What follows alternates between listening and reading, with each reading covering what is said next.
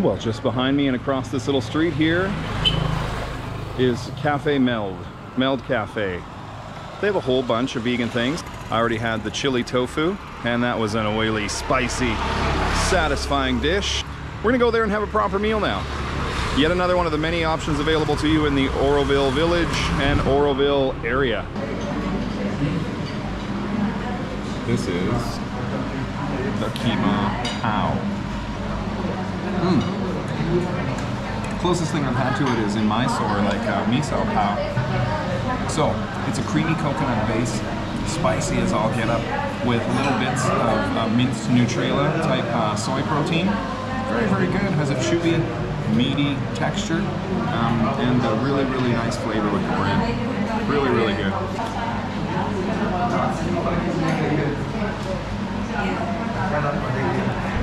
That's an excellent dish.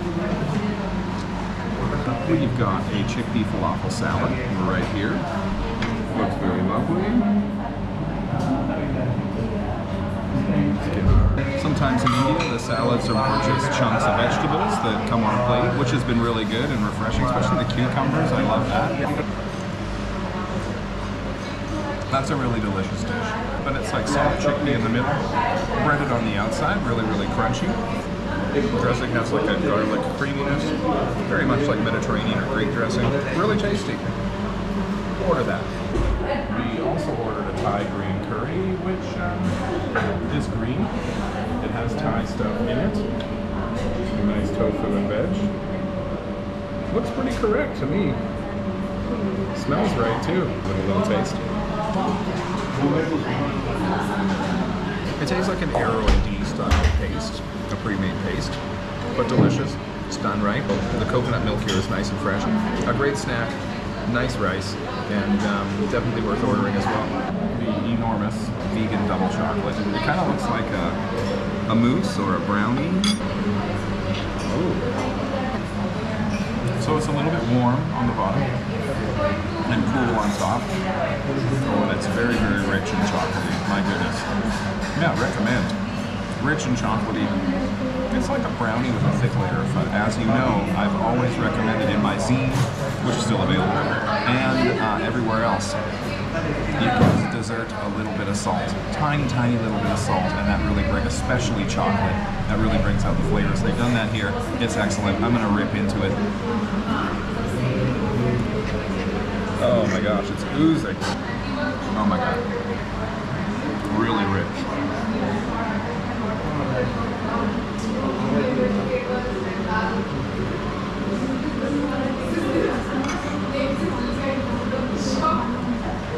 Today we've come to Plenty, a vegetarian restaurant with lots of vegan run by the famous Tanto. Around here they're known for their Italian and French style cuisine, pasta, pizza. This is their iced tea. Mm. Oh, very nice, very tangy. Very, oh, that's good. I love that in India, so many salad options include a hot roasted veg option like this one. This is the roasted veggie salad.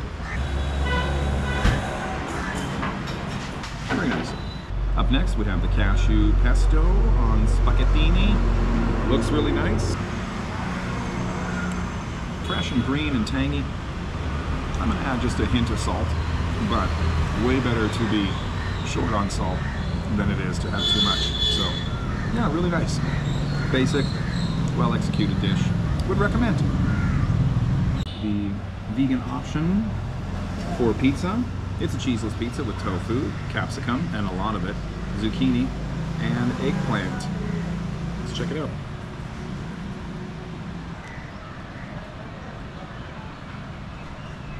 Mm-hmm. Really nicely cooked. The crust is pretty darn nice. And I'm gonna add just a little bit of seasoning to it, but delicious overall. Pizza, pasta, and a bowl of root vegetables, plus an iced tea. 1239 That is um, 20 bucks. So like a hint more than normal, but not that much more. And uh, the quality of the food was really good. The uh, ambiance is really nice. Plates are big and heavy and proper, like restaurant dishes. Plenty vegetarian restaurant on Auroville Road, the same owners as Tanto.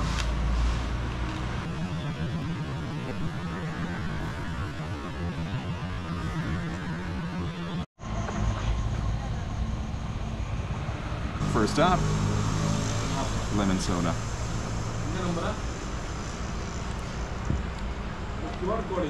It's lemony and fizzy. We've just received our first pizza. It's the marinara. It's got uh, fresh garlic, it's got fresh tomato, tomato sauce, and it's all on a thin crust pizza. I'm going to bite it now.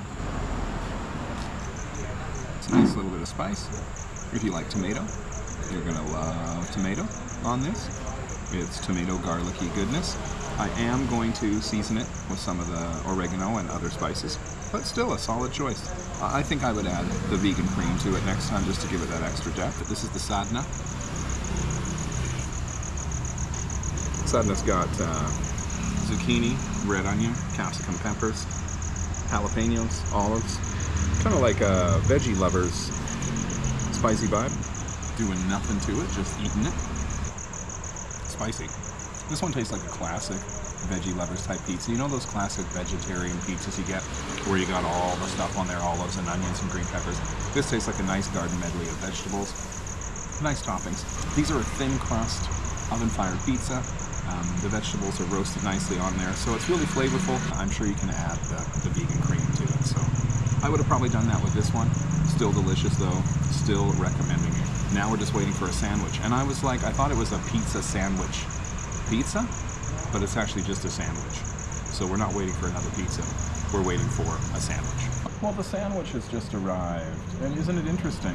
It's uh, a double thin pizza crust with nice stuff on the inside. I'm gonna pull one apart for you so you can see. Just a bunch of delicious pizza toppings and some of the cream. This looks real good. Let's give it a taste. Real nice. Really nice.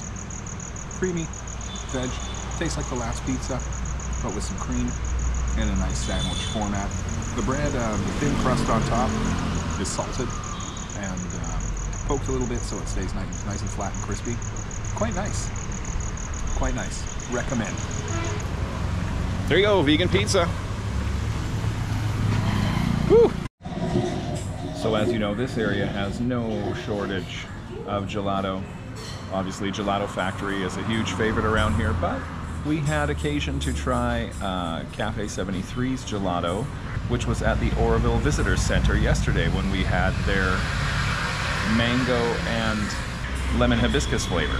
So we're here at their cafe where we had those burgers the other day and we're trying their mango and dark chocolate flavor.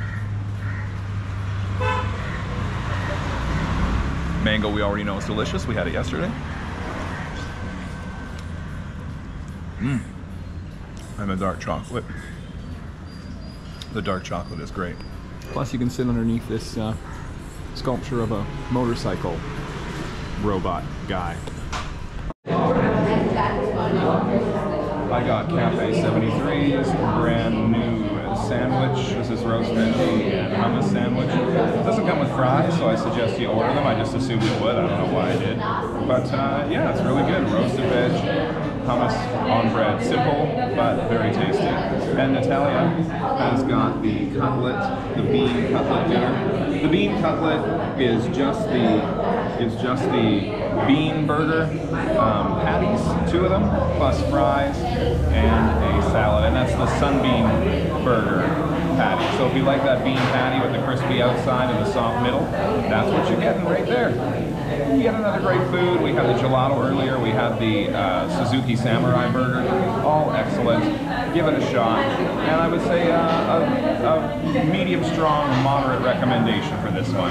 It's not fully vegan, but they have uh, three, four, five vegan options plus two types of gelato.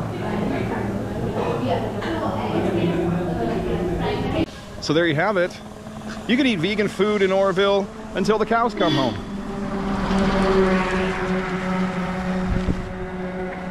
Get it? The cows are going home. So that's that's why I said that. Remember, They want to live and be mothers. And you don't have to eat their cheese, their milk, their flesh. Look at all these things you can get right up and down one little street here in India. Do it. Bye. Oh, sorry. For vegan everywhere, I'm David.